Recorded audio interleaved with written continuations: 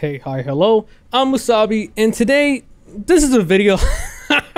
I feel like I make a million of these at this point. I really don't like to. I, I honestly, I get disappointed and depressed when I have to make videos like this because these are gaming franchises that I enjoy. I love them, and they just die. They just get they get fucked. They get destroyed. And I mean, you already read the title of this video. We're talking about Overwatch 2. Yeah, I talked about this uh, what about a year ago almost now when the relaunch happened and I wasn't too fond of that and then I pretty much quit the game after like a week or two when I realized there wasn't anything really special going for it. But let's dig a little bit deeper. Let's actually talk about what's going on. Why am I even making this video? So to catch up to speed, last year Overwatch 2 dropped and it was supposed to be the revitalization of Overwatch because you well, okay, let's be real. I'm pretty sure everybody at some point in time has heard of Overwatch. When it initially came out, everybody and their grandma wanted to try it out and play play it because it was something different. It came out to the scene and there was nothing really doing what it did. And uh, admittedly, I was one of those people that enjoyed the fuck out of it. I played a lot of it. I played it, I want to say, for at least about a year or two straight, and then I just kind of fizzed away and I didn't really play no more because the content died. It, it just vanished. There was nothing really that was going on with the game. They didn't really release content that I, at least the player base really cared about because the numbers speak for itself. The player base was dwindling. There wasn't many people that were staying on anymore. They were focusing on esports. People thought that it wasn't really that much of a an eye watcher. People didn't really care to watch it like they did with League or CSGO. And so Overwatch just kind of became a joke. It was that game that people were just looking at like, ah, Overwatch, you playing that still? Uh, okay, buddy. You know, that's kind of pretty much what it boiled down to because there was nothing really left going for it.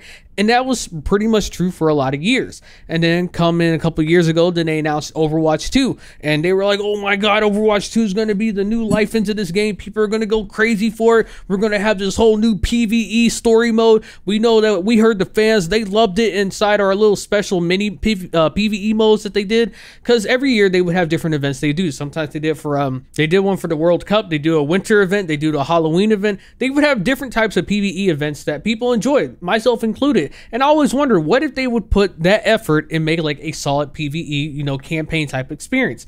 And so that's what they eventually tried to do. And that's what they were selling Overwatch 2 as. But like all things that, you know, when it comes to AAA gaming in this space now, just bunch of lies. It never came through. It just vanished. Poof gone.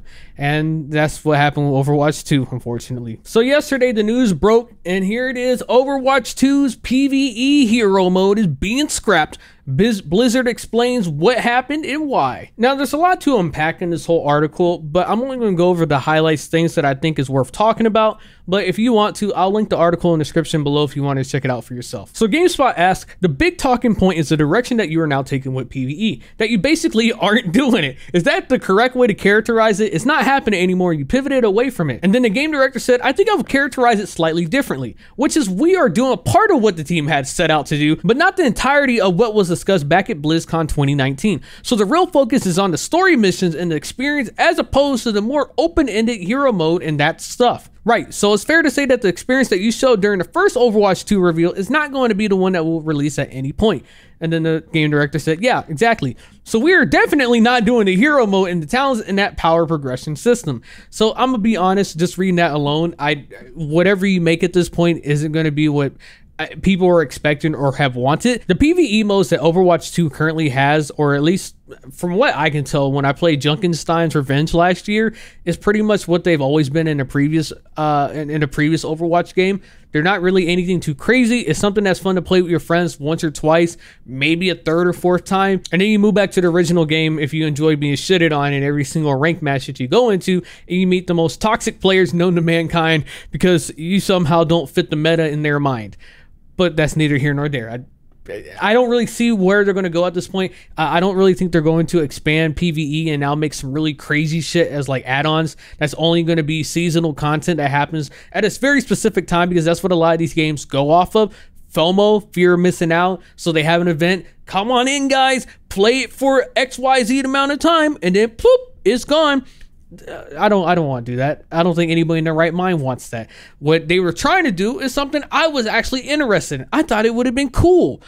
But now it's not happening and I'm I'm disappointed. now this paragraph in particular I think is very interesting and I really wanted to point out this one. They ask, I think there's going to be a lot of frustration around how we got here because Overwatch 2 has always been a live game. So people are going to think, well, you knew this was a live game, yet you pitched this other Overwatch game and then you also justified the 2 on the Overwatch title with that. So we're in a situation now where the game is what it's always been, it's involved in some ways, but a sequel was released and that sequel's justification hinged on the PvE. Why did that happen? And so then the game director goes on to say, that's a great question. We've talked a lot in the past about Overwatch 2 and how it's different from the original game, even just being free to play and swap into a 5v5 team format and all the new content that we have developed for it. To me, that's the biggest change that we're looking at here. It's not just that we have some of the same heroes in the game, it's the way that we're writing the game and how we're looking at the game going forward. I really hope that the roadmap that we just released is something that illustrates that to players. And I'm gonna be honest, spoiler alert, is not really that great, but we'll get to that in a second either way, I think that's a great question because the whole point of Overwatch 2, the whole point of it being a sequel was the idea that this PvE mode was going to be so revolutionary, at least to the game itself, to the core of the game, that it justified putting a 2 right beside the name, when in reality, it's still the same shit. For a lot of people, including myself, I thought that Overwatch 2 was going to be that spark to rekindle the flame, and a lot of people are really going to start hopping on this train. But if you look anywhere, this game isn't really popping off. The only time it really gets viewers now is if there's drops on. The Overwatch marketing spree has kind of run dry. It looks like their pockets are empty now. They're not paying streamers anymore to play the game, so the viewer count just dwindled all the way down to nothing. Again, it's not to say that Twitch viewer counts is the representation of the game as a whole. I'm pretty sure the population is still there, especially as a free to play game. But when you look at the content that's being fed and then the battle pass, which is a fucking joke, I don't really see many people invest in time because you got to think we're in a different place now. We have Fortnite, Call of Duty Warzone. There are a lot of other free to play live service games that this game now has to compete with. When you jump into a space such as live service games, then you know what you're competing with. And I mean, of course, they acknowledge it, but I don't really think they understand it. When you are a live service game, you're fighting for players' time and attention. That is your biggest priority. Your goal is to make sure that players are not playing the other live service games and that they're playing yours, that they're spending all their money on your game, not other games. And I don't think Overwatch has done that well, if even at all because all you see is people complaining about the battle pass and that the heroes are locked behind paywalls and that the grind is uh, too large and it's not worth the time investment. And that's personally why I don't play. I don't really have any interest anymore. I mean, yeah, I could play here and there, but there's nothing that makes me want to come back. The progression system, there's nothing there that feels like I'm rewarded as a free to play player now. Even though I had the original game, yeah, I got all my shit that I earned in the free game to now this one, but a lot of people like to have progression. They like to have something where they are at least gaining something.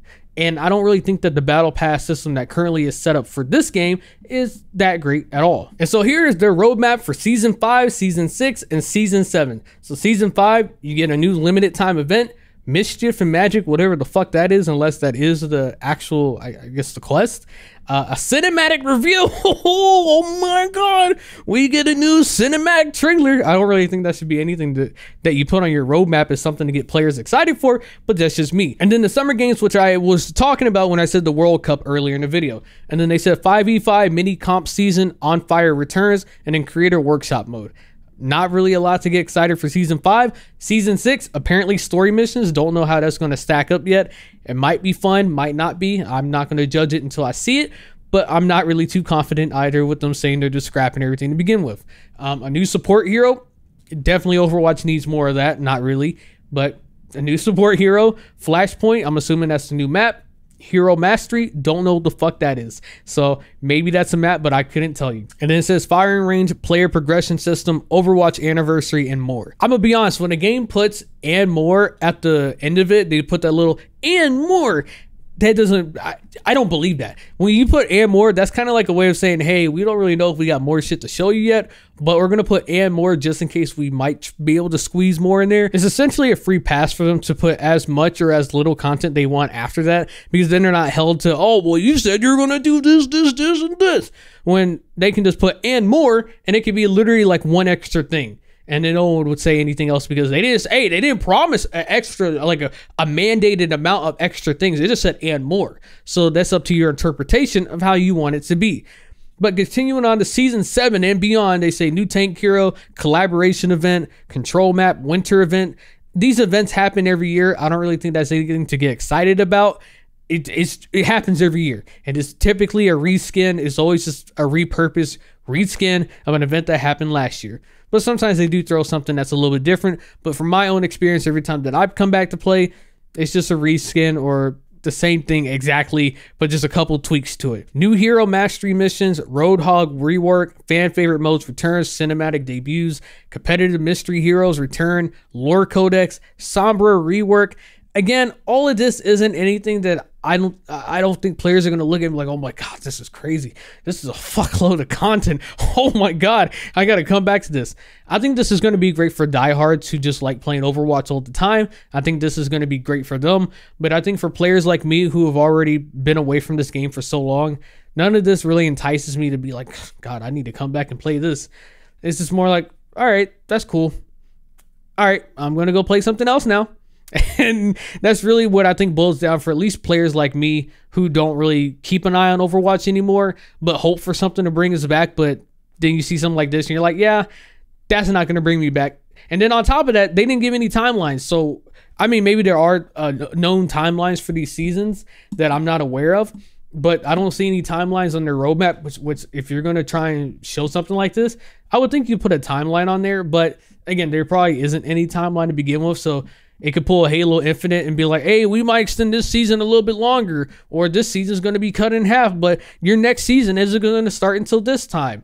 So that's a possibility as well, too. But yeah, not really a great roadmap. And so pretty much the rest of the article just goes over pretty much what they were expecting. How are, are they going to repurpose the maps? What are the plans going forward? And from what they said, they created a bunch of tools specifically for PvE mode and everything that they're making around story mode that they can repurpose to PvP. Once they get in the mindset for releasing PvP content and PvE content, then it's going to be like a great synergy and there's going to be so much stuff coming out. Personally, I'm a person of I believe it when I see it.